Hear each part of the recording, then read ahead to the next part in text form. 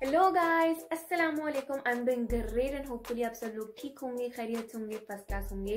Welcome to another video और आज की वीडियो में हम करने जा रहे हैं एक wedding guest makeup look obviously शादी सीज़न चल रहा है और हम सबको शादियों में बहुत अच्छा दिखना होता है, सबको यही होता है कि सबकी नज़रें हमें देखें तो यस अगर आपको भी ऐसा दिखना है तो आपने क्या करना है?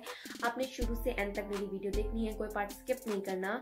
और आज की वीडियो में एक और चीज़, जो एक और मेन पॉइंट है, वो ये है कि दस में से जो आठ चीज़ें हैं, वो हमारे पाकिस्तानी लोकल ब्रांड से हैं, बहुत अफोर्डेबल हैं और आपको ईजिली अवेलेबल हैं। आप उनकी वेबसाइट से जाके या आप उनके इंस्टाग्राम पेज से जाकर उनको डीएम करें और वो आपको डिलीवर कर देंगे आपके घर पे भी। Pakistani brands are coming up with such an amazing stuff तो आई थिंक हमें उनको भी प्रमोट करना चाहिए, बाकी इंटरनेशनल ब्रांड्स तो आप लोगों ने काफ़ी सारे लोगों को यूज़ करते देखा होगा।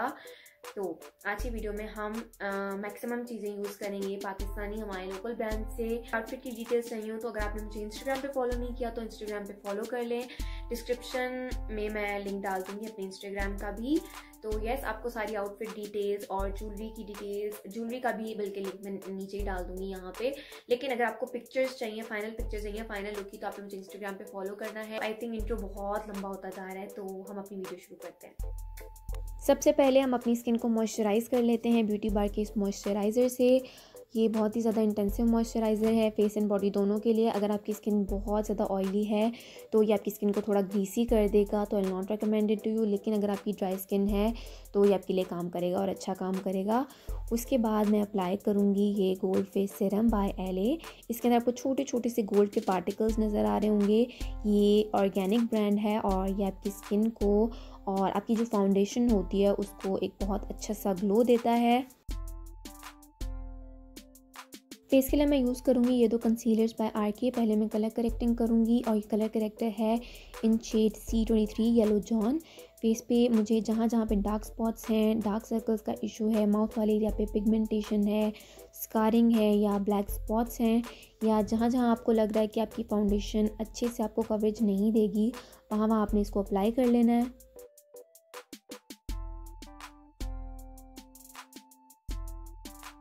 उसके बाद मैं ब्रश लेके इसको अच्छे से ब्लेंड कर दूँगी। अगर आप मेरी एक आई और दूसरी आई में ब्लेंड होने के बाद डिफरेंस देखें तो काफ़ी ज़्यादा डिफरेंस है और इसने मेरे डार्क सर्कल्स को काफ़ी हद तक कवर कर दिया है। और बाकी भी जहाँ जहाँ मैंने कंसीलर अप्लाई किया है, मैं ब्रश से इसको ब्लेंड कर दूँगी।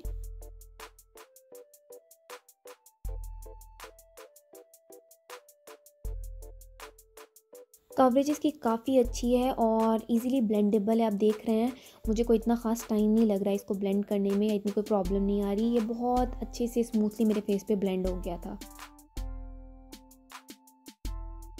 ब्रश से ब्लेंड करने के बाद मैं डैम ब्यूटी ब्लेंडर लूँगी और मैं अपने कलर कलेक्टर को अच्छे से ब्लेंड कर दूँगी क्योंकि you know blending is the key to everything मतलब एक अच्छा मेकअप करना है तो ब्लेंडिंग बहुत ज़्यादा ज़रूरी है। उसके बाद हम आते हैं बाकी सारे फेस पे। उसके लिए मैं यूज़ करी हूँ ये एच डी कंसीलर और foundation it's in shade C zero two light ivory मैंने जहाँ जहाँ पे कलर करेक्टर अप्लाई किया था, मैं इसको वहाँ वहाँ तो अप्लाई करूँगी। बाकी फेस पे भी मैं थोड़ा सा इसको डॉट कर दूँगी ताकि मेरे फेस पे एक अच्छी सी कवरेज बन जाए। और उसके बाद मैं इस कंसीलर और फाउंडेशन को ब्लेंड कर रही हूँ ब्रश के साथ।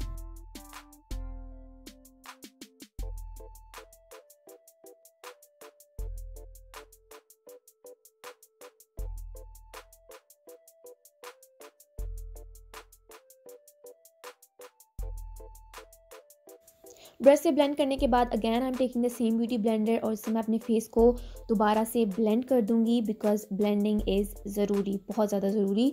उसके बाद हम फेस को सेट करेंगे। इट्यूट का मैं ये लूज़ पाउडर यूज़ कर रही हूँ। इन शेड आइवरी और मैं पूरे फेस को एक ही दफ़ा मैं ब्रश इसके अंदर डिप करूँगी और मैं पूरे फेस को हल्का सा सेट कर दूँगी। उसके बाद मैं अप्लाई करने जा रही हूँ।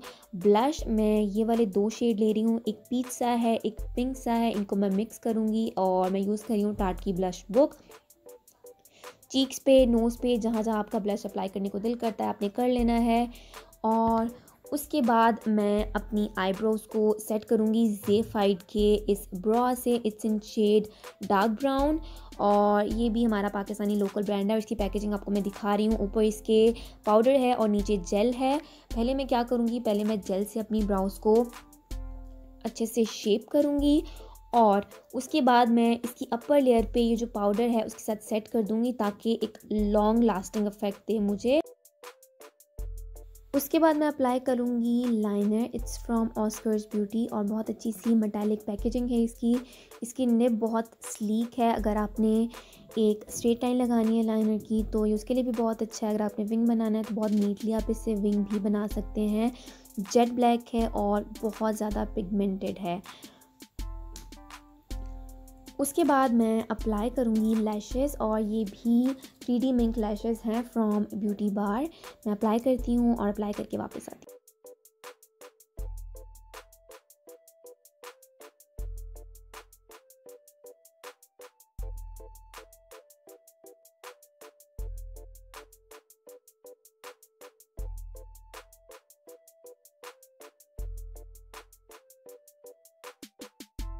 लिपस्टिक के लिए यूज़ कर रही हूँ मैं ये वाले शेड्स और सबसे पहले मैं अपने लिप्स को लाइन कर लूँगी आर के के इस परफेक्ट प्रिसियन लिप लाइनर से और इसके एक साइड पे एक छोटा सा ब्रश भी है और इसकी पिगमेंटेशन मैं आपको दिखा देती हूँ। बहुत एक्सट्रीम फिट किस्म की पिगमेंटेशन है इसकी।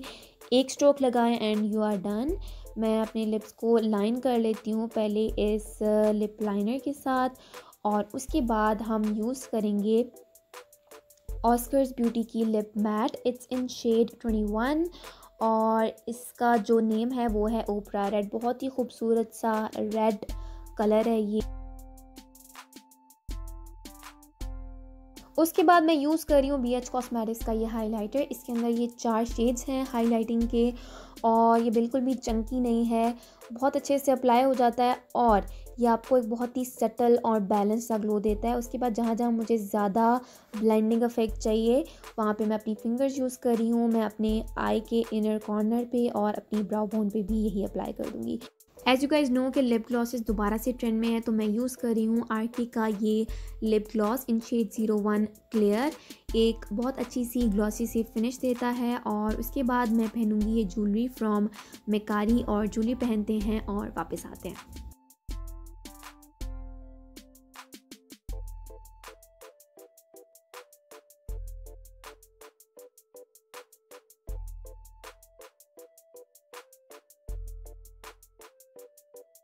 ओके जी तो यहाँ पे हमारी वीडियो होती है जी ख़त्म और होपफुली आप लोगों को वीडियो अच्छी लगी होगी। अगर आपको वीडियो अच्छी लगी हो तो please give a thumbs up do subscribe to my channel leave your feedback in the comments I love you guys so much खुदा हाफिज़